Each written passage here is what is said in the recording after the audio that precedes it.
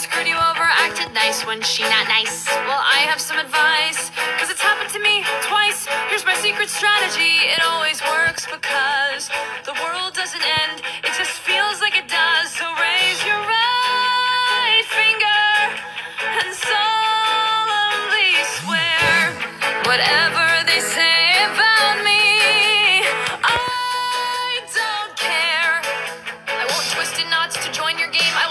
make me mad, and if you treat me bad, I'll say you're bad. And if I eat alone from this moment on, that's just what I'll do. Cause I'd rather be me. I'd rather be me. I'd rather be me than be with you.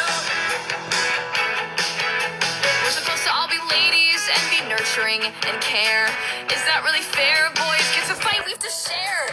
Here's the way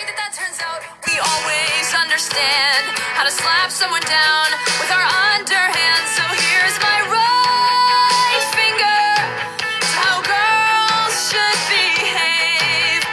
sometimes what's meant to break you makes you brave. So I will not act all innocent. I won't fake apologize. Let's just fight and then make up, not tell these lies.